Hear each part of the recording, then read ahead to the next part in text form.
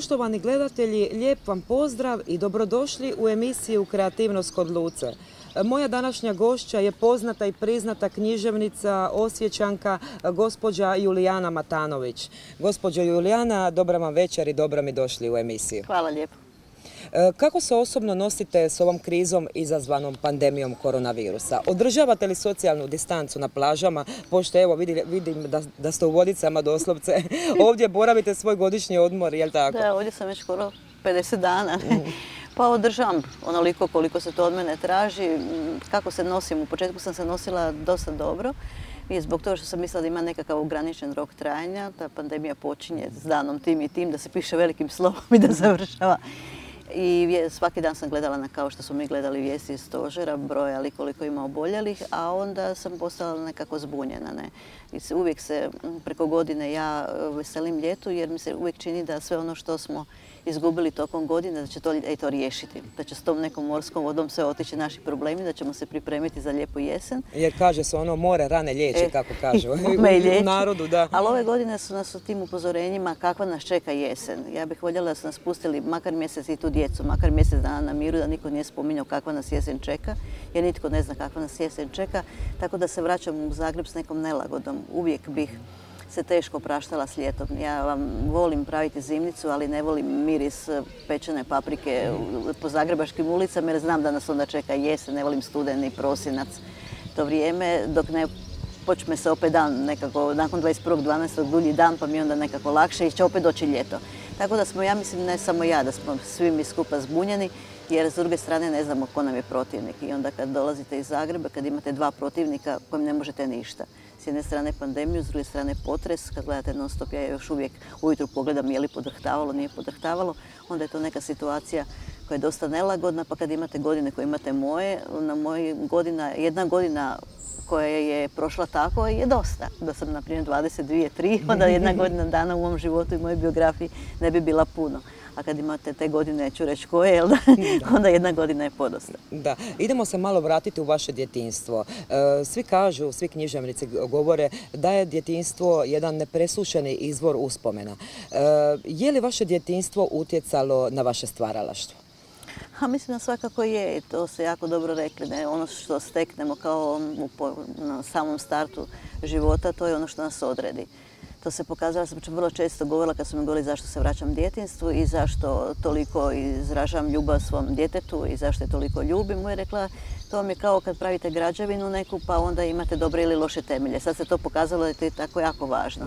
Kakve vi temelje na nekome napravite, tako, tako ćete ga podjeti u život. Možete vi u svojim apartmanima, ne znam kako načičkati sve poslije. Sve je to lažno ako temelji nisu dobri. Ja sam imala tu nesreću ili sreću, ne znam ni sama da je mi djetinstvo bilo vrlo komplicirano, ono je literarno podatno i to je neprestano neko izvorište nekih motiva kojim se ja mogu vraćati. A koji su to motivi? Ali to nije djetinstvo koje bi neko htio. Razumite, ono je lako djetinstvo koje se može ono tračati u frizerskim salonima pod haubu, hauba više nema, dobro. Ali to su motivi da vi odlazite iz roditeljskog doma s tri godine i ja još uvijek do sada, a imam, evo, imam 61 godinu, ne znam e, jesu mi roditelji dali ili je ta teta mene uzela pa me više nije vratila. Znate, ono, kad vi se pogotovo u nekim kriznim razdobljima svog života, uvijek dođu neka krizna razdoblja, pa se onda pitate što bi bilo da je bilo drugčije. Dakle, imala sam tri godine kad me teta, čije sam ja ime naslijedila, je li to već ranije bilo određeno, ako sam već dobila njeno ime, da će to tako biti. Koja jednostavno uzela, rekla da me dotjera u suru, to sam i napisala u svojoj prvoj knjizi, dakle da me dotjera u red, da nisam baš bila jako poslušno dijete i ja se više nisam vratila u roditeljski dom. I onda vi kad rano prijeđete prag roditeljskog doma, ja mislim da cijeli život tražite neku kuću, u onom doslovnom smislu, ne materijalnom, da imate sigurnost neke kuće i onda vam to uvijek negdje izmiče. I onda kad imate 15 godina shvatite da, se ne zovete onako kako ste mislili da se zovete. I to je nekako, pogotovo s 15 godina, dosta traumatično. I sad imate 60 godina, kao prošle godine ja, i spremam kuću koju sam naslijedila od te svoje tete koja mi u stvari bila majka i u jednom fasciklu, sasvim u radnom stolu zabačeno, nađete dokument da ste vi službeno posvojeni u ime naroda 74. godine. I kako ste se osjećali u tom, u tom trenutku kad ste to vidjeli? E sad, e, meni je malo neugodno govoriti, imaš toliko godina pa ti je sad se nešto dogodilo ponovo u životu. Jer se očekuje da ti negdje stavljaš inventuru završnu svog života i da te ne može sa 60 godina jedan takav dokument možda poremetiti, ali možda mi moj drugčije život izgledao da ja to nisam pronašla. Možda ja ne bi toliko težila za svojim biološkim roditeljima da me prihvate. Možda bi shvatila da moje dvije sestre, moj brat ne gledaju mene kao dio možda svoje prve obitelji, prvog kruga i nisam se osjećala dobro. Pitala sam se zbog čega je to tako. Ja sam ostala prezimena svoga oca, dakle moj posvojitelj, moj tetak nije dao meni njegovo prezime, ali me 74. posvojio. Ne znam je li da je uopće dobar termin jer ga ne volim koristiti. I sad e, se pitate zašto je to tako. I sad to jesu neke nove literarne teme. Mhm, da, znači vi ste to pretočili u biti na papir, odnosno sva da, dijela. to je uvijek tako. Ja mislim, jedan sam rekla jednu grubu rečenicu i mislim, još uvijek stojim iza te rečenice, mhm. ali mislim da je jako gruba. Nikad mi ne može biti toliko loše da ja od toga ne bi profitirao. E, to je spašavanje vlastite sebe. To ja ne slikam svoj život. Mislim, kad ljudi govore, ja govorim u prvom licu uvijek jer sam to naučila u predavonici. Nekako mi se čini kad govorim u prvom licu kao da imam sugovornika. Pa sve priče koje pričam, većina njih je u prvom licu jednine i onda ljudi doslovno shvate da ti pričaš svoj život. Ti koristiš neku emociju, koristiš e, nekakav saft tog svog života, neku činjenicu i onda od toga gradiš dalje. Ne stavljaš se u neću tuđu kožu. Nisu pisi tako naivni da preslikaju vlastiti život. Oni jednostavno usitne sebe pa onda različitim likovima daju svoje karakteristike. A je li istina da e, čovjek koji piše romane, književnik znači koji piše romane, mora proživljavati one likove, odnosno živjeti one likove e, o kojima piše u tim dijelima? To je odlično pitanje, to teoretičari ne postavljaju, to bi trebali postaviti teoretičari. Meni vrlo često kažu E, daj napiši roman. To gospođa koja je čuvala Magdalenu znala je reći nemoj pisati priče, piši nešto. Ona je mislila na veliku narativnu formu. A ja sam znala odgovarati, ja sam pisala bilješku pisu zadnje, to je prije 20 godina. Tada sam bila sama, nisam imala dijete i mogla sam se ovo što vi odlično kažete posvetiti svojim likovima. Vi morate proživljavati njihove sudbine. I ja sad mislila sam dugo vremena dok je Magda bila mala da ja nemam pravo živjeti živote svojih likova kad sam bila sama s njom. I ti moraš biti, znate imate malo dijete, da, moraš biti 90% sebe cijelo vrijeme prisutan, čak i kad spavaš. Kad neko kaže ne možeš spavati, popis se dati. S malim djetetom ne možeš popiti ništa za, ne, ne. Moramo biti normalni.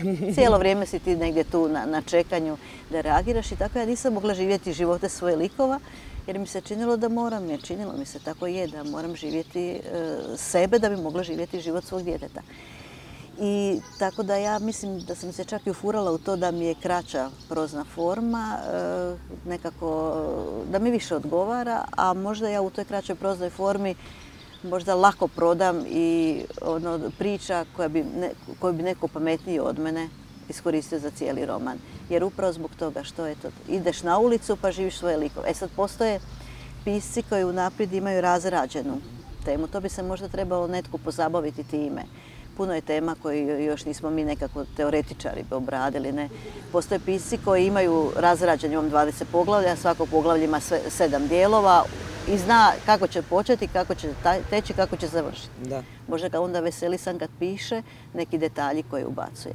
A imate ovih drugih koji, kao ja, imaju nekakav okus, imaju neku potrebu, imaju, ja sam to sebi davno umislila da su u jednom trenutku stanice tijela toliko napunjene pričama da ti više ne možeš izdržati, eksplodirat ćeš i onda to moraš ispisati. Imaš prvu rečenicu, sjedneš i pišeš. E onda ti živi život i likova. Ovi koji su sve razradili, možda oni onda uspijevaju imati nedeljni ručak, a ovdje su imaju razradu. A ja koja nemam razradu, nego sam se ufurala u život svojih likova, onda ih živim. I to je, mislim da to nije, možda nije dobra tehnika. To mi je jedan put Ribuson lijepo rekao. Ti meni izgledaš kao neko ko dođe graditi kuću, a pritom nije napravio nacrt. Ali dobro, može i ta kućica biti. Dobra je. E, vaše prvo dijelo e, koje se zove Zašto sam vam lagala, objavljen je 1997. godine, koliko znam. Pa mi recite, e, biste li to dijelo stavili u zbirku pripovjedaka ili ipak u roman? Po meni je nekako to više zbirka pripovjedaka. I na koji način ste to pisali? Je li bilo teško u ono doba objaviti takvu knjigu? Da, imate pravo, to je bilo prije 23 godine i puno se toga promijenilo, mislim, pa to je puno i godina prošlo, ali puno se toga u književnosti promijenilo. Prvo nije bilo toliko žena na književnoj sceni, ja sam to objavila negdje na prvom pragu svoje zrelosti ženske, to je 37-38 godina, to vam je već ono kad pravite prve neke životne inventure, jeste li mogli drugčije ili mhm. niste i to. I ta knjiga je meni potrebna, bilo to se tek poslije pokazalo. Ne, da, Doživjela je čak 14 izdanja, ako ne i više sada. Je, čak 18 izdanja i čak i nije u lektiri, to ja volim reći. Znaš, A zašto nije u lektiri? Jako je interesantno. ali dobro, možda je komplicirana rečenica, mhm. ali volim reći da je 18 iako nije u lektiri, jer kao onda, onda su obični čitatelji tu uz nju. I ja sam u jednom trenutku imala osjećaj da se s mojim životom nešto događa, da ga trebam ispisati, da moram složiti u tekst o svom životu koji je tako raspršen, da bi vjerojatno mogla dalje. U jednom trenutku kao da morate presložiti sebe. Kad smo već počeli sa građevinama, kao da se nešto dogodilo s tom, pa morate ono statiku napraviti da. možete živjeti dalje. Tako se dogodilo. Ja sam tu knjigu objavila 97. 98. bila dosta, ovaj, je, bilo je puno događa u mom životu i dosta traumatična godina. Tako da je dobro da sam ispisala ovu Julijanu do te 97. Ja sam se tu dosta poigrala. Mislim, autobiografija je tada bila jako u modi. Da sam tu knjigu objavila deset godina prije, to i možda ne bi mogla ni objaviti. Ali sam bila među prvima koja je počela tako otvoreno govoriti o vlastnom životu. A je li vas bilo strah objaviti tu knjigu? Jeste li bili sigurni da će ta knjiga, eh, da će tu knjigu zapravo čitatelji prepoznati kao kvalitetnu i dobru? Ja vam nisam u tom trenutku ništa mislila. To je iskreno rečeno, ta je knjiga napisana u Primoštom 96. u 20 dana. Napisana je rukom u trenutku kad sam ja trebala završiti doktorat. I meni se nije dalo završavati doktorat, ljeto je bilo i ja umjesto doktorata sam napisala tu knjigu. Naravno da su mnogi koji su me do tada štovali kao znanstvenicu, ja sam bila od onih koja je iz Osijeka došla u Zagreb, magistrirala kod profesora Kravara koji je veliki autoritet. I meni je predavao jedno vrijeme, da. Na komparativno. I magistrirala na baroku i došla sam sa tim nekakvim mm, opisima sebe koji su garantirali da ću biti netko u znanosti. Ne? Ja sam iznevjerila vjerojatno te profesore koji su mene primali kao znanstvenicu, jer to je tada bilo prekršaj. Sad je to druga priča. te mlade djevojke, žene mlade koje sad danas pišu, ne znaju kakva je ta klima bila prije 23 godine. Dakle, ja sam napravila prekršaj, počela sam pisati, ja trebala sam biti znanstvenik, nisam završila doktorat, trebala sam završiti doktorat i to hrvatski povijesni roman, povijest hrvatskog povijesnog romana i mene je počela zanimati vlastita povijest. Kako ćeš pisati povijest e, romana ako ne znaš ni svoju malu sitnu biografiju? I ja sam se e, poigrala sa autobiografijom jer sam nešto o teoriji autobiografije kao teoretičar znala i stavila sam ta stvarna imena, a neke događaje sam izmislila. Znači ja sam odgojena u jednom lijepoj građanskoj kući gdje sam morala biti onakva kako, su oni htjeli. Da da bih produžila svoj boravak tamo. Meni je tamo u stvari bilo lijepo. Ne, znam koliko mi je bilo lijepo, ali mi je bilo daleko ugodnije i sigurnije nego da su me vratili odakle sam došla. I da bi to osigurala boravak, ja sam morala biti dobro dijete, ne? Svirati, a nije mi se sviralo. Ja bi sam igrala jako dobro nogomet, a kako ćeš igrati nogomet jer to nije baš za djevojčicu iz građanske kuće. Dakle, nositi bijele do koljenice, a ja sam u stvari bila mangup. I onda sam u toj svom laganju htjela sebe prikazati onako kako sam htjela biti. Dakle, taj mangup, a ostavila prava imena. Mhm.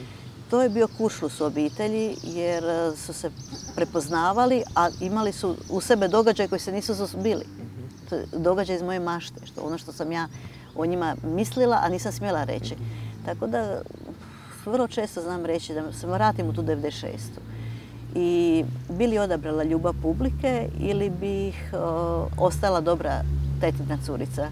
Što biste odabrali? Evo sad u ovom momentu. E sad kad tete više nema, mislim da, bi ipak odabrala ljubav publike, jer ja sam se književnošću, ono što sam malo prije rekla, uvijek išla spašavati. Ne? Tako da, da, ko zna što bi bilo sa mnom da, da nisam odabrala to uopće pisanje. I jedino to što sam ja onda oslabila svoju ovu znanstvenu poziciju, jer je to bila ova koja i piše. Onda sam počela pričati priče o drugima. Bila sam medijski nekako, kako sam objavila to nešto što je kao iskreno, medijski zanimljiva, tako da sam se pojavljivala u stranicama na stranicama ženskih časopisa, što isto u to vrijeme bio prekršaj. Zašto je bio prekršaj? E, akademska zajednica nije bila spremna shvatiti ozbiljno i prihvatiti nekoga ko će predavati u, u, predavonici, u isto vrijeme imati intervju u čitanom ženskom časopisu. I to, nije bio dobar put. Meni je drago da sam ja ta vrata oškrinula i da to više sada nije problem. Da. E, postali, ste majka sa 43 godine života. E, i profesorica ste bili na sveučilištu i književnica. Kako, je, kako ste uopće uspjeli organizirati taj svoj život koji je bio zaista, dan vam je kratko trajao doslovce, je tako? Čemu ste se najviše posvećivali? Evo, primjećujem da ste se najviše posvećivali svome djetetu. 90% je trebalo, odnosno 100% se trebalo posvetiti djetetu. I kako ste uspjeli pisati, kako ste uspjeli predavati na fakultetu? Da, ja sam se vratila odmah na fakultet, mislim da je to bilo, ne odmah, nakon 8 mjeseci. I ja sam imala nešto uvijek čudno u sebi, da nikad nisam izazivala nekakvu, ne, ne sučut, nego nekakvu dodatnu pažnju. Ja danas kad gledam na tu svoju akademsku karijeru i to nakon rođenja Magde, Ma meni svašta onda pade na pamet, znate, onda vrlo često uzmem onaj tekst i to kažem uvijek zagorkino, što je moja krivnja, samo zato da ne bi postala ogočina baba. E, nije, nije, bilo lako, ne, pogotovo što smo Magda i ja bile u Zagrebu same Njezin otac je živio u Sarajevu, on se vrlo brzo razbolio. Kad je Magda bila dvije i pol godine, on se teško razbolio i umro je kad je Magdica bila tri. Dakle, ja sam htjela Magdu spasiti vlastite biografije, ne? ali život ti složi takvu priču da je čak u literaturu ne možeš ni preslikati. Magda je bila isto onoliko stara kad je umro otac kao koliko sam ja bila kad sam otišla iz roditeljskog doma. Znači, prošla je još gore. Ja sam bar mogla optužiti roditelje, pisati roditeljima, reći ona poslije kad sam prepoznavala crte lica svog oca ili majke na svome ili očevu ljubav prema književnosti u sebi, bar reći na sam nalik. Ja sam nekada znala reći, ma gdje više nema reći niko ni da je e, lijepa si kao što je bila lijepa tvoja majka. Mhm. Znate, često sam ulazila u sukobe sa kolegicama koji su govorile protiv bivšeg muževa, ulazili u sukobe oko te skrbi na djetetom. Ja sam rekla, neki on živ, neki negdje. Oni će jednog dana ostvariti nekakav svoj odnos. Bilo je to vrlo traumatično i komplicirano vrijeme, ne? A ovo što ste rekli, imala sam potrebu i pisati, ali onda nisam pisala ono što, e, već više duže forme, mhm. nego sam eto krenula na kratke priče. Voljela sam vam kad bi neko naručio neki tekst od mene, kad bi naručio neku kolumnu, u to vrijeme sam pisala i kolumne i za onaj časopis Mila, vi ste mlađi pa ne znam da se Čula sam za njega, da, čula sam. To, e, to je bilo 2003. i onda nakon toga za vjesnik, upravo zbog toga da bih imala nešto što je moranje, što je posao. Znači kad imaš malo dijete dvije godine ne možeš mu zalupiti vrata i reći e, mama piše. Da, znam, nego, znam nego mama ima ide na intervju, pa onda mama ide na posao ili mama se sprema za intervju, mhm. onda ti u svojoj glavi to pretvoriš kao posao, onda imaš pravo reći još pet minuta Magda. Tako da sam voljela da me neko ono pozove na neku suradnju, da naruči neku priču, da bih jednog dana ipak mogla nastaviti to svoje pisanje kad ona odraste. I nije bilo lako. Imala sam jednu gospođu koja je četiri godine, ona bila s nama, koja je pomagala dok Magdica nije krenula u vrtić onda se stvari počele dalje komplicirati sa nekim dijagnozama, tako da ja ono živim život ono pun, u svojoj punini. Naravno da u tom životu, pogotovo ta neka onovska narav koja donese odluku u 9, u 9 i 15 mora realizirati, nije dobra. Ali nije ni prazna. Da. Jeste li više za knjige s koricama ili knjige preko interneta? Što biste preporučili uopće mladima? E, da čitaju knjige e, preko interneta ili radione s koricama? E, što je veća draže? ja, ja se ne mogu naviknuti na pravo čitanje na, preko interneta jer ja tekst ne vidim. Kad ne mogu se vraćati, kad ne mogu podlačiti. E sad kako je s mladim ljudima, to ja ne, mogu isto reći jer moje dijete nije e, pravi, pravi primjer toga. Mislim, ona je dijete koje je htjela puno i čitati i onda je preko noći kad je počela online nastava postala nepismena. Mi svi troje, nas troje u kući koji imamo neko obrazovanje, mi smo preko noći postali nepismeni jer nismo znali sve te aplikacije, nismo znali što je Zoom, nismo znali što je ovo i sva ona znanja koje si imao. Sve ono što si imaš, neka, neke znanja da ne moraš ići na Google ili nešto, ti preko noći nisi ništa više znao. Postali su znalci ovi koji su se do tada igrali na igricama.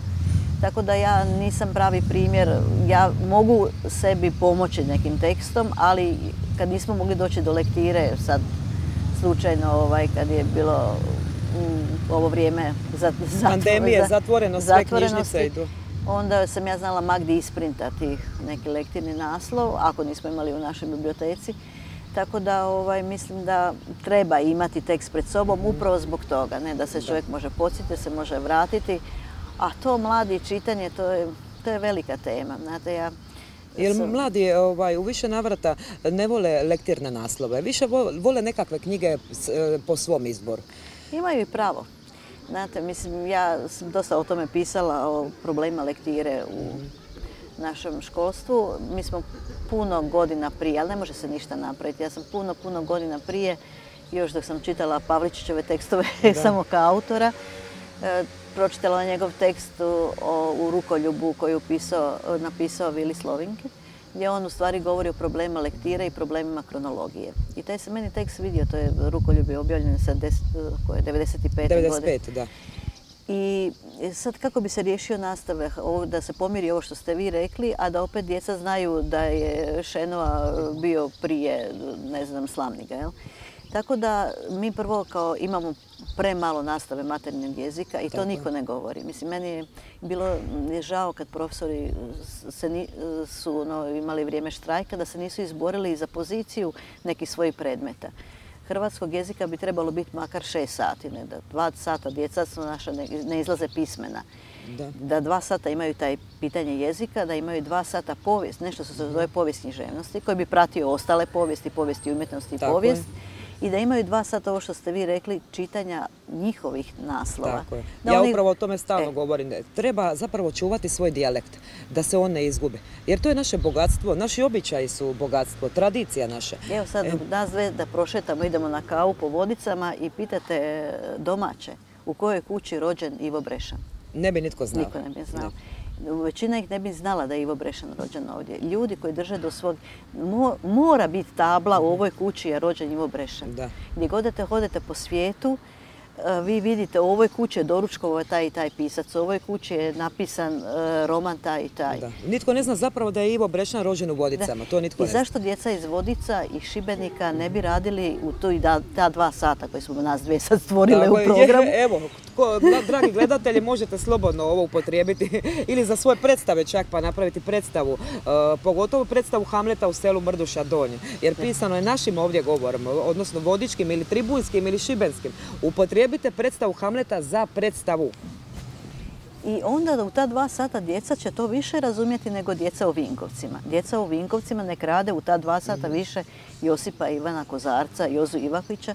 Ja dolazim iz malog mjesta, ne, iz, tog Đuđenovca, mhm. u kojem su, evo, iz kojeg su, ne znam, i Krešo Zimunić i u kojem je e, živio dosta dugo profesor Viktor Žmegač, koji je Kafku prvi puta vidio na Njemačkoj u toj knjižnici u kojoj je živio Anto Gardaš. Ja se sjećam u naše velike jedne zgrade u kojoj smo goli toči kao Anto pjesnik, jer kad si malo su ti svi pjesnici.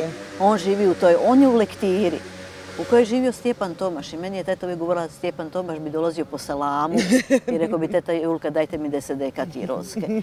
I kad sam ja jednog dana ono, znaš, e, vidjela da je Stjepan Tomaš dobio tu nagradu, da je Anto Gardaš u lektiri, pa meni je to moje malo mjesto se proširilo. Te ulice postale neke velike. Da. Tako bi djeci reću, pa u ovim ulicama je hodao Ivo Brešan, ovdje je hodao i Josip Kozarac i na ta dva sata ili u, u rujnu reći djeco jeste li nešto pročitali pročitao sam to i to, e, idemo i mi svi pročitati da vidimo da li se i nama sviđa to.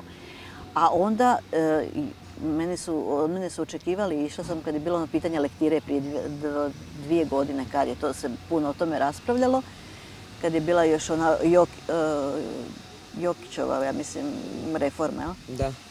E, onda su me pitali, treba li djeca pročitati Juditu? I kad sam ja rekla ne. Moraju pročitati Juditu, morate pročitati Juditu, draga djeca. Cijela, cijelu Juditu, kad imaju 15-16 godina. To je, mislim da je to njima preteško. Oni to, I to je, to je pitanje kronologije. Da. On s 15 godina treba pročitati Juditu, a onda kad bude 19 godina, e onda će čitati ovo što jako dobro razumije. Da, predstavu Hamleta, na primjer. Da. Znači, treba raditi povijesni ženosti. Te godine je bio objavljena je Judita, malo da se vidi tip jezika, nauči to kao što se uči povijest. A na satovima interpretacije mi ne znamo Ono što je veliki problem, više ljudi ne razumiju tekst. Kad, kad je bilo predizborno vrijeme sad ovo, ja sam gledala sva sučeljavanja. Onda mi je Pavo rekao, pa ti stvarno si mazohista. Ja sam gledala sve, ne zbog toga što bi ja ne bi znala ko će unaprijed što reći, nego da vidim kako će se to poslije što su oni rekli prenijeti. Jer ja ne mislim da su ljudi toliko zločesti, nego mislim da više ljudi ne razumiju rečeno. Da. Djeca od prvog razreda imaju razumijevanje teksta, imaju... Razumijevanje pročitanog teksta, da. Oni u maturi imaju razumijevanje pročitanog teksta, njima to piše, oni više tekst ne razumiju. Da. I to e, čak imaju i testove u školama. Razumijevanje pročitanog. Znači moraju pročitati tekst i odgovoriti na pitanje. E, molim vas, recite mi, idemo malo zapravo sad na lakša nekakva pitanja, pa ćemo onako kratko odgovarati. E, koji je vaš najdraži glumac? Ili glumica čak? Meni glumac Ivo Gregurević je bio. E, najdraži pjevač ili pjevačica ili nekakva klapa možda? Klapa, u vašem tribunju sam išla slušati Rišpet prije dvije godine. Znači Rišpet. volim klap, klapsku pjesmu, ne. Najdraža knjiga? Ali volim Džibonija kao, kao psihotvorca i, i jako me smeta upravo ovo. Znate, ono, e, kada je umro Oliver, onda se u, jednim dnevnim novinama našao ovaj tekst i to je potpisao ured Olivera u čitanke. Znate, to je to nepoštovanje autorskog. Ne možeš staviti Jakšu Fjamenga ili u čitanke, ali ne možeš staviti Olivera u čitanke. Ne? Da. Tako da, što ste me pitali sad? E, najdraži književnik i najdraže dijelo privatno književnika znate koji mi je najdraži, a ovaj, ja bi trebala kao kroatist reći jednog, ovo Muhammed Damir, treći hrvatskog pisa, Milutin Cihladehajev, od starijih, a strani Fluberova papiga, Juliana Bec. Odlično, odlično. E, dragi gledatelji, još malo pa smo došli do kraja emisije. E, gospođa Julijana Matanović će sada nešto preporučiti našoj djeci za kraj u vezi čitanja knjiga. Možete slobodno. Evo ja sam spomenula sad ono, jednog od najdražih svojih, ali stranih pisaca. U tom romanu Floberova papiga stoji jedna rečenica život je lijepa stvar, ali ja volim više čitanja. Ja doista mislim da se uz čitanje postaje bolji čovjek i da e, čitanje, to djeca bi trebala razumjeti. E, čitanje i sami tekstovi daju smisla našim vlastitim životima jer e, u književnom tekstu ništa ne može biti slučajno. Nas dvije ovdje smo se morali danas susresti da je književni tekst. Da ako odemo na kavu mora imati neki razlog. U životiti se sve čini, joj vidi koja slučajnost. Ja ne volim tu rečenicu koja slučajnost, a ne volim ni rečenicu da ima slučajnosti. Književni tekst uvijek e, sve objasni. E, ono nam objasni i naše vlastite živote i smislove naših vlastitih života. Djeca trebaju čitati, ali ja nikada djecu ne optužujem ako ne čitaju. I nekada ne, govorim rečenicu kako je bilo u moje vrijeme. Ja kad sam bila mala, naravno sam čitala. Jer je čitanje bio jedini, jedina mogućnost zabave. Imao si kino od deset nedjeljom i svetu misu koja je bila i teatar i pjevački zbor, sve, sve na istom mjestu, ako si išao. I imao si literaturu u kojoj si bježao. Nije bilo nikakvih dodatnih izazova. Moramo biti sad pošteni pa reći koliko mi vremena provedemo na tome što listamo neke različite portale, a nemamo više knjigu. Izboriti se da upravo da i nagovori dijete da danas čita je veliko, veliko profesorsko umijeće i tu, tu ja dajem svakom profesoru, ja imam divni studenta svoji koji su nagovorili djecu na čitanje i tu im dajem ono, sve, sve svoje koje pohvale. Ne, kad ti neko kaže pročitao sam tvoju priču pa sam onda počeo čitati mhm. dalje, to ne možete dobiti veći kompliment. Da. E, gospođo Julijana, hvala vam puno na ovom razgovoru. Hvala vama. I ovoj muhi koja nas je mhm. smetala. Omela nas je muha, samo da znate. Nas dvije sad idemo na kavu, a vi, dragi gledatelji, ostanite i dalje uz naš program televizije Šibenik i lijep vam pozdrav!